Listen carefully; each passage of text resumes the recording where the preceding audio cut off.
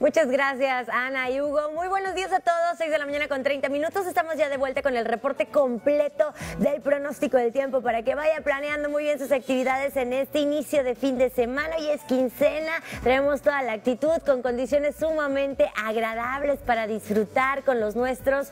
Todo viernes, sábado y domingo tendremos condiciones de nubosidad. Tómalo en cuenta. Al momento la temperatura marcando los 24 grados, el viento en calma, la humedad al 100% y la presión atmosférica reportando 1005 milibares. Vamos a conocer también las temperaturas a detalle en los diferentes municipios que conforman el área metropolitana y podemos ver los valores que se registran van desde los 23 hasta llegar a alcanzar los 25 grados. Como ya le mencionaba, condiciones de nubosidad para toda la jornada. Existe el pronóstico de lluvia para el día de hoy. La temperatura máxima alcanza los 32, sobre todo en el transcurso de la tarde-noche es cuando aparece nuevamente esta posibilidad de precipitación. Por la noche la temperatura será de 29 grados. Y para los siguientes eh, cuatro días, ¿qué es lo que nos espera? Mañana sábado tendremos una condición de cielo nublada. La temperatura máxima llega a 33, la mínima será de 22. El domingo, lunes y martes aumenta el pronóstico de lluvia de un 50 hasta un 80% y podemos ver los valores como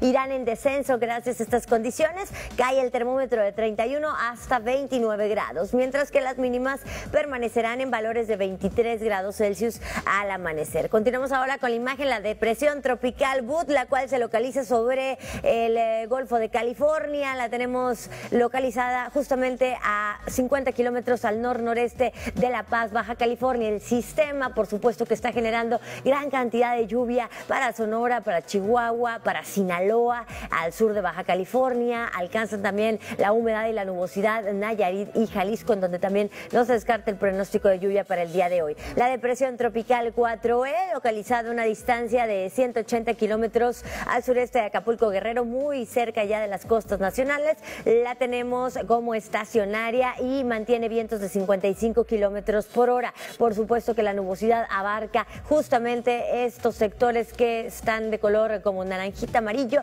Estos colores están eh, son los indicadores de que estará causando nubosidad y lluvias importantes para el transcurso de esta jornada alcanza el centro del país. En una imagen un poquito más abierta alcanzamos a ver un poquito más a detalle las lluvias que se estarán registrando el día de hoy. ¿En qué sectores exactamente? En Jalisco, en Colima, en Michoacán, en Guerrero, en el centro del territorio nacional. También para Oaxaca y Chiapas se prevén precipitaciones importantes porque tenemos esta onda tropical, la número 3, que está generando también el ingreso de humedad del Mar Caribe, interactuando con la depresión tropical 4E. Bueno, provoca todas estas condiciones de para el día de hoy. También para el litoral del Golfo de México tenemos presencia de lluvia para esta jornada, abarcando también los estados del noreste de la República Mexicana. Y bueno, ya lo veíamos, la depresión tropical Bud alcanza, por supuesto, los estados del noroeste del país, en donde también se prevén lluvias para el día de hoy. En Chihuahua, hoy la máxima llega a 33 grados, Ciudad Juárez con 36, en Hermosillo, Sonora,